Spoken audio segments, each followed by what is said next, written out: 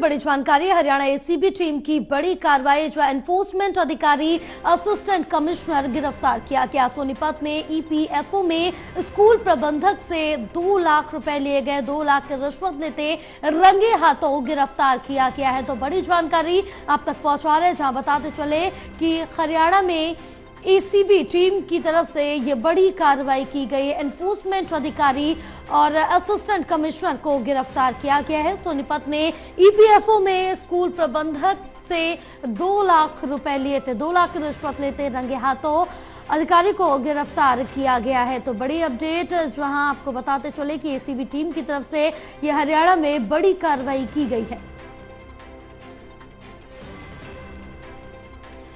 हमारे साथ associate editor Anil Kumar जुड़े हुए हैं और ज़्यादा जानकारी लेंगे।